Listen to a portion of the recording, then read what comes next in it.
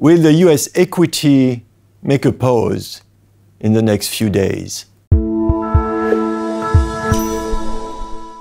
Well, let's review this straight line of the US market. First, by realizing what has happened in the last two months.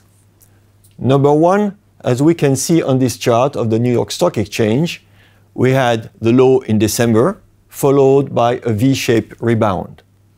This V-shaped rebound has been characterized by two important days. Number one, on the 26th of December.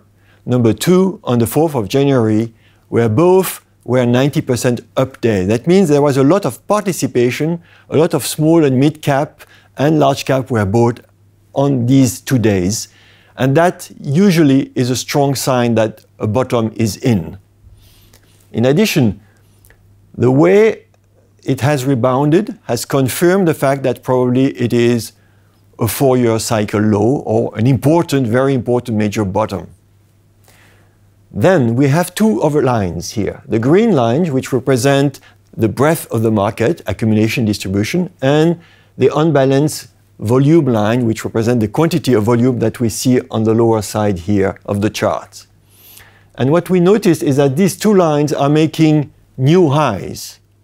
Usually, when the breadth of the market is making new highs, that precede the new highs on the price side for the large cap indexes, in that case, the New York Stock Exchange or the S&P 500. So medium term, it is bullish, clearly. And this has been the case because, as we can see on this chart, where we have on the top the small cap and the bottom part we have the mid cap, we notice this red dotted line, which is the relative strength of small cap divided by the S&P 500, the large cap, or the mid cap divided by the S&P 500 uh, for the case of the mid cap here on the orange side. We notice that obviously during the decline, both sectors underperform the large cap. And now they have been rebounding strongly, so they outperform the large cap. So that means everybody was participating on this rebound, and this is a bullish sign medium term. Just short term, we notice that there is a little pause, and that's what we are going to discuss next. Of course, V-shaped bottom are not unseen. One example is what happened in 1998, we have here on the lower part of the chart, and what happened in 2018 right now, uh, currently with the last price of yesterday. What we notice is that it takes about two months where we have usually a relatively straight line rise without any pullbacks, sometimes a little bit more like it was in 1998. This year is particular. Uh, it has very short-term pullbacks, one or two days at most, and then it goes on to higher highs.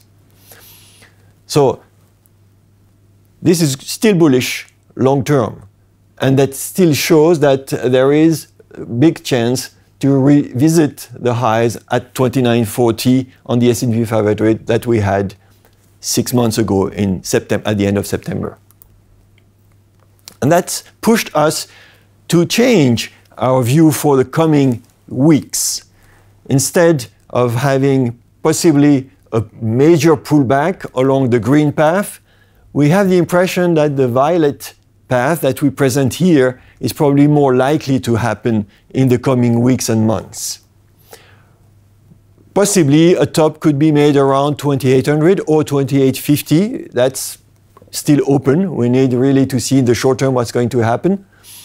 And then a consolidation is expected for a few weeks, but higher highs are expected later on for the rest of the year. Higher lows as well. Short term, we notice here on these daily charts a few things. Number one, the dotted line, rising line, is the trend line, the obvious trend line that everybody is drawing. And it's just about to be tested currently.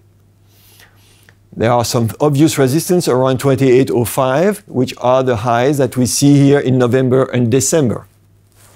We notice also that the VIX in orange dotted line on the upper part of the charts here is coming down from the top that we had in December, on the 24th of December, all the way down to below 14%, just trying to move up a little bit around 15% in the last past few days.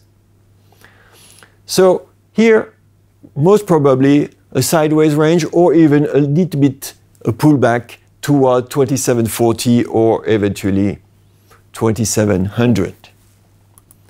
Very short term, if we go into the hourly things, you notice that the hourly charts displayed here a cloud, the green cloud, which is still rising, so it's still a bullish trend.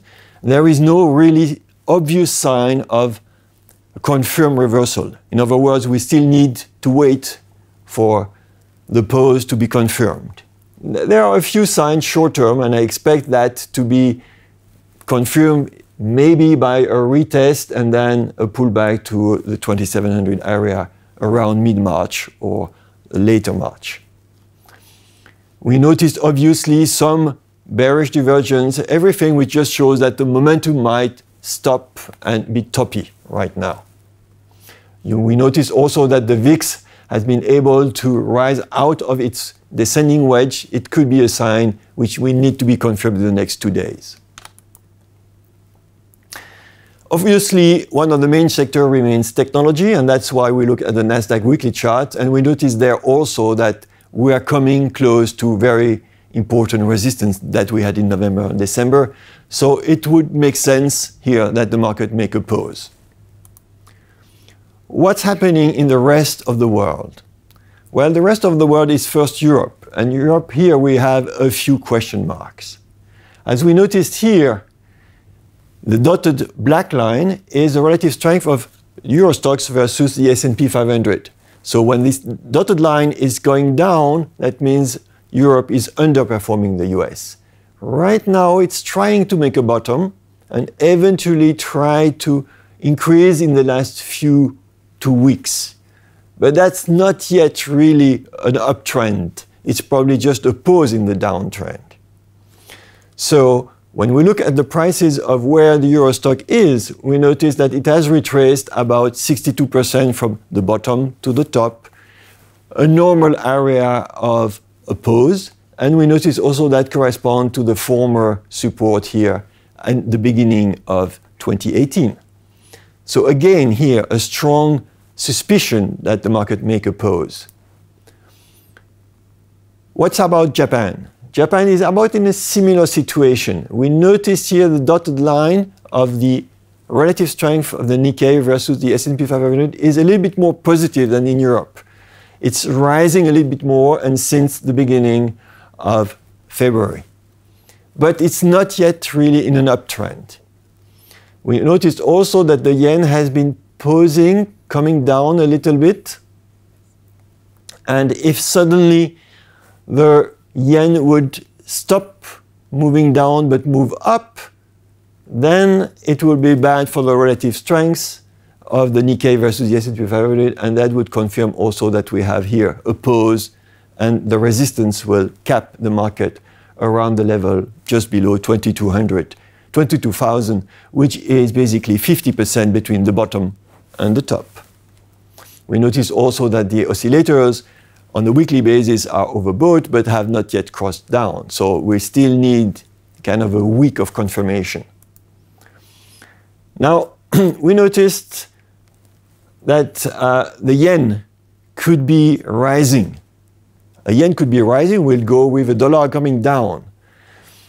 So far, really, if we look at a daily basis, the dollar is still capped within a narrow range between 97 and 95.30, a range which eventually could try to push towards the bottom of its range. Uh, if US dollar index move a little bit down, that means maybe the yen might be moving up. We might get then the confirmation uh, that uh, the correction could go on. In other words, we should remember one thing that usually the dollar correlates with weaker commodity indexes and weaker relative strength of emerging markets. And if the, the strong dollars instead of being strong, start to move down, that would be more bullish for US equity and that would help also uh, the relative strength of emerging markets. So here what we noticed is that maybe if there is a pause in the US equity market and this pause lasts a little bit too long, then a weaker dollar could be the way to save the soldier Ryan, to save the US equity market by giving some fuel and adding some liquidity into the market by devaluing the currency, basically. So, what happened to the other the rest of the world, the one that we are speaking every day on TV, the one which is coming out of Asia, namely we are speaking China. And, and when we look at all the emerging markets, of course, here we notice that, or we recall that during 2018 we had a big downtrend here for all emerging markets. And since December we have a kind of a rebound. It's not yet a full bull market. We are still below the cloud, the weekly clouds, and we are just touching it. But here we have a few question marks, and, and therefore we should differentiate about different markets. And I think what we should notice is two things. Number one, that the US 10 year yields are relatively flat, so that's not going to move too much. In other words, this is the famous new Powell put. Okay, here the Fed will be accommodative if growth slow too much. So that's the good news. The relative strength of emerging market has been making a pause in January, February during the strong rebound of the US equity market. And now it needs to be seen if also the emerging market could continue to outperform. That's still a question mark. We are not making a higher highs. So here, we should maybe differentiate.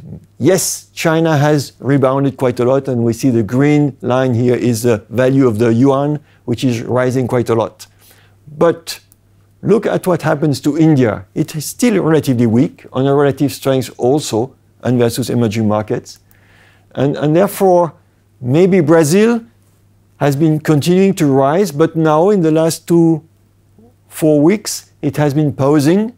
So here also capped and Russia, which also is a kind of a proxy also for the oil market, has been reaching resistances, rebounds of the relative strength. Here, the green dotted line has been flattening, kind of, bit, bit down, and therefore oil could be pausing a little bit.